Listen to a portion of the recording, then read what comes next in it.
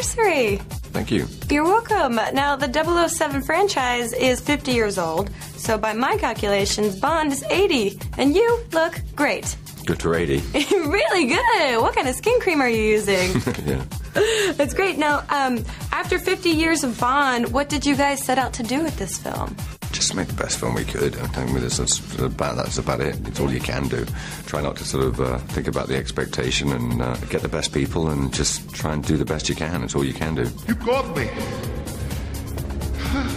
now, here's your prize. What makes Silva, your character, so dangerous to Bond? We try to do a little homage to the classic Bond villains, but at the same time, a person who really belongs to the day of today in terms of technology. Yeah, you used YouTube. You used it a lot differently than I use YouTube. yeah, yeah. You're not ready, knowing you would likely die. Mommy was very bad. Eve bashed up the car pretty good. She missed her shot. She almost killed 007. How did that girl not get fired? Are the British Well, that got, polite? No, but she got demoted. She got taken out of the field. Yeah. That was like pain enough. but uh, they put a lot of um, work and training and so on into getting an MI6 agent ready. So I don't think they'd want to lose all their money by dragging her, you know, out of the MI6 altogether. Take the bloody shot.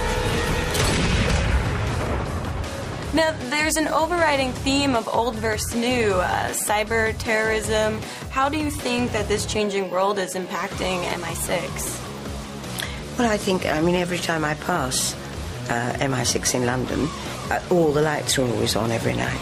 And I think, and no wonder. I don't know how they keep up with everything. Who doesn't appreciate the occasional twist, Mr. Bond. James Bond. You met James for 10 minutes, and then he walks naked into your shower. Why didn't you call the cops? Ah, amazing. it is unreal. It was like a dream. I didn't have to force him or whatever. No, it was, Yeah. was fantastic. I bet. That didn't look like work at all. How much do you know about fear? Well, not like this. Now, the gadgets, the girls, the violence. How does this 50 year old Bond stack up, in your opinion?